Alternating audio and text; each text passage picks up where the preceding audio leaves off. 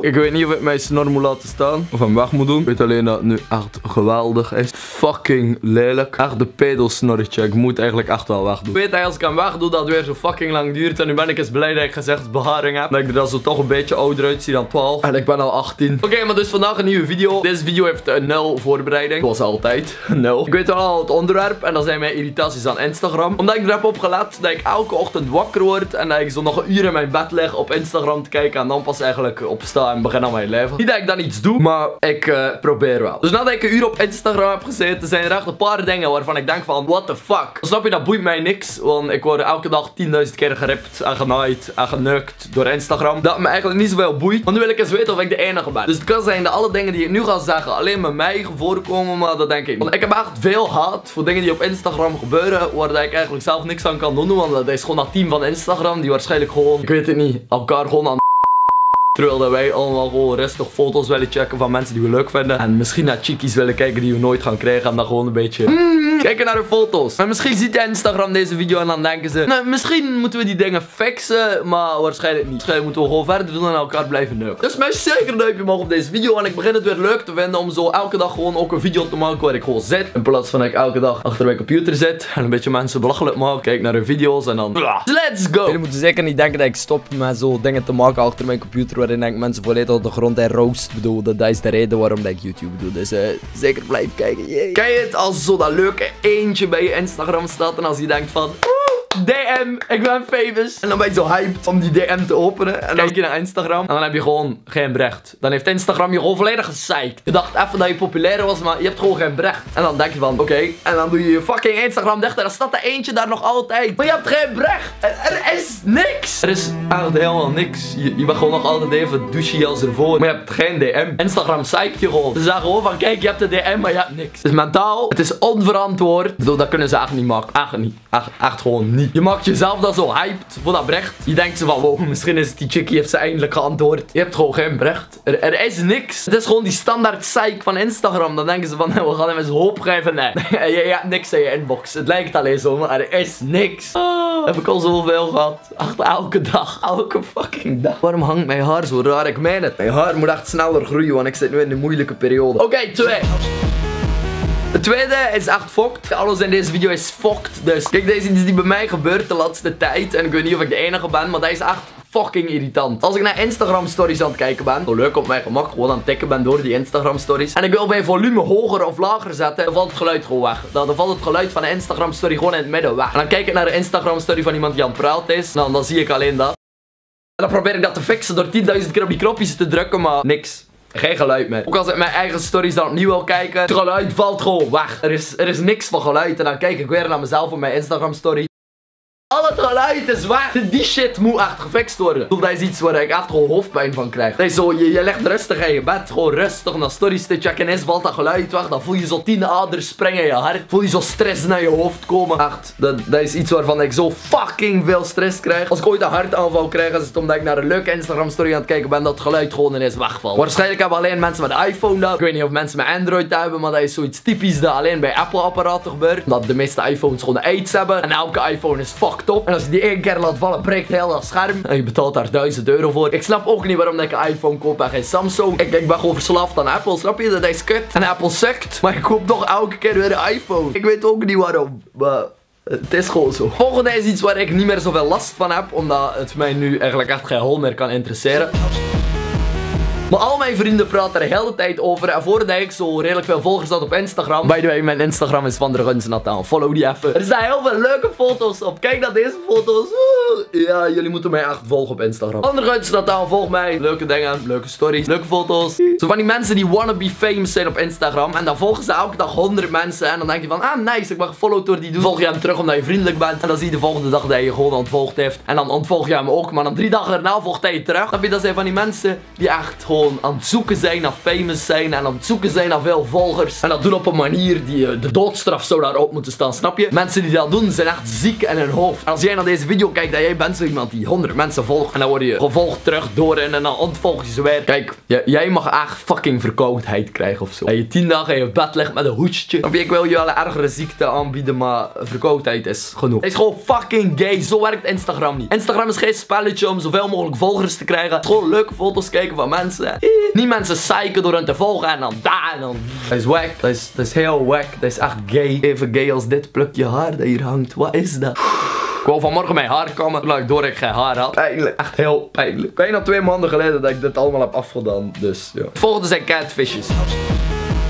We kennen catfishes allemaal, want ik bedoel, Instagram heeft iets in hun app gestoken waardoor catfishes gewoon geboren zijn. De facefilters. Hey boys.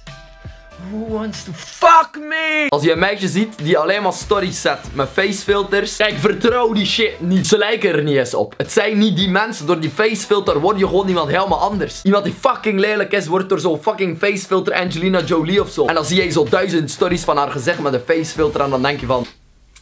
Damn, what the, the, the, fuck. Ze lijken er niet op. Echt niet in de verste verte. Ik weet niet wat die facefilter doet, maar die neemt alle lelijke dingen weg van je gezicht. En die maakt je ogen groter en je lippen dikker en zo. Vertrouw nooit die fucking facefilters. Maar vertrouw die nooit. Is scam level 1000. Spreek nooit af met een meisje waarvan je alleen mooie Instagram stories hebt gezien. Als een afspreek maar, hij spreekt af aan het station. Ze stuurt bij, ik sta te wachten aan het station en je gaat naar het station en je ziet haar daar gewoon niet staan. Dan staat ze daar wel, maar het is gewoon iemand anders. Die facefilter verneukt gewoon het hele gezicht en zorgt ervoor dat iedereen fucking lekker hoor. En dan spreek je af met iemand en dan is het gewoon iemand anders. Ze lijken er helemaal niet op. Ik bedoel, ik heb dat nog nooit gehad, maar ik heb wel al gehad dat mensen volg op Instagram en dat ik denk van, woe. En dan zie je haar in het echt en dan weet ik niet eens dat zij is. En dan komt ze zo naar me, ja je volgt mij op Instagram en dan sta ik daar.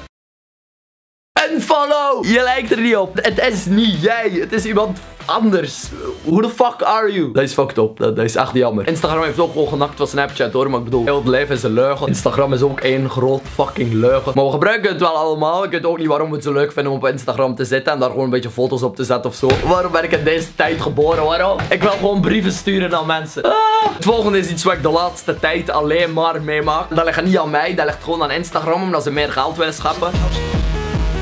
Als ik rustig naar Instagram stories aan het kijken ben, popt er daar ineens een guy op die zo zegt van, als je niet goed eet, dan ga je nooit een sterker lichaam krijgen. En hij is zo'n advertentie voor weet ik veel, voor zijn persoonlijke fitness coach ding. En dan denk ik in mijn hoofd van, heb ik ooit iemand gevolgd die fitness training geeft. Maar dan zie je bovenaan staan promotie. En dan, dan heb je door dat het gewoon reclame is. En dat dat niet iemand is die je volgt. Dat dat gewoon zo'n fucking reclame is die tussen al die Instagram stories opkomt. En dan is het, ja, dan heeft Instagram je gewoon weer opnieuw anaal genukt. Kijk, ik wil die shit niet zien. Ik wil niet zien dat iemand fucking reclame maakt tussen mijn stories. Want ik heb daar niet om gevraagd. En dat heb je ook gewoon als je op Instagram aan het scrollen bent. Ik bedoel, dan ben je aan het scrollen en zie je daar ineens een promotie voor Supreme truien. Ik bedoel, ik, weet niet of jullie dat doorhebben, maar dat is niet echt. Dat zijn allemaal fake shit. Dat zijn allemaal fake truien die gewoon op Instagram staan. En dan denk ik echt, welke idioten kopen die dingen? Welke idioten denken dat Supreme trui gaat verkopen op een fucking promotie op Instagram? Kijk, dat is fake shit. Ik zeg dat even, je kan geen Supreme trui kopen van 29 dollar.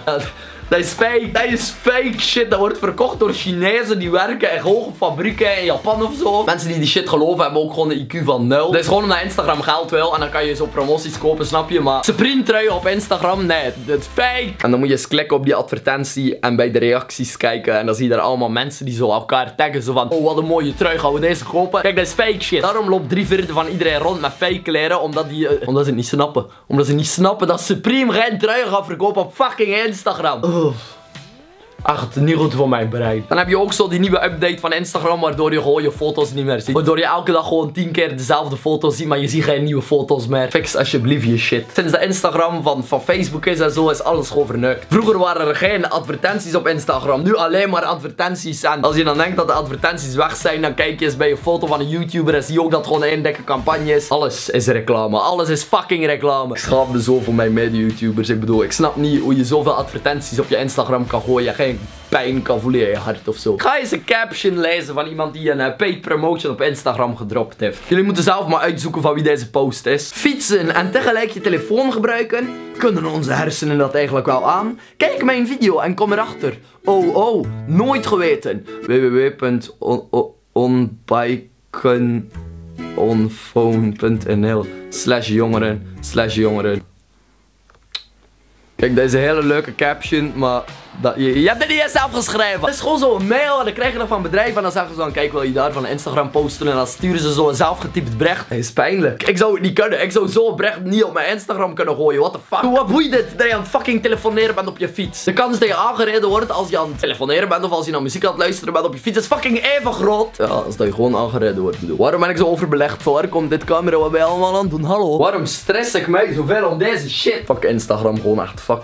fuck fucking Instagram. Ik wacht tot de dag dat er gewoon een nieuwe app komt waar je alles in één kan doen. Snap je? Op Facebook, Twitter, Snapchat, Instagram, alles in één. Dat zou zo simpel zijn. Dan kan je gewoon alles in één keer doen. Dan moet je niet zo duizend apps hebben om duizend verschillende dingen te checken. Oh, waarom verzint er niemand dat? Dat is, goud, mij. Gewoon één app voor alles. En ik weet dat Facebook komt dicht in de buurt, maar Facebook is fucking gay. En Facebook is echt voor faggots. Ook al gebruiken we dat in België nog allemaal en kijk ik ook dagelijks op Facebook. Maar er moeten nieuwe social media shit dingen komen, want ik heb het gehad met alles. Ik ben weer fucking overbelegd. Ik lijk nu echt op de witste whiteboy die er bestaat. Het lijkt alsof ik een vampier ben nu, maar ik ben echt niet zo wit. Ik ben echt niet zo wit. Wat, wat is dit camera? Wat doe je allemaal? Misschien moeten we allemaal gewoon ons Instagram account verwijderen. Of niet? Volg mij. Van der Guns Nataan op Instagram. Ik, ik heb 156.000 volgers. Dus volg mij zeker op Instagram. Ik wijs het. Tot, tot de volgende keer. En nu staat mijn camera wel goed. Nu, nu ben ik niet meer wit.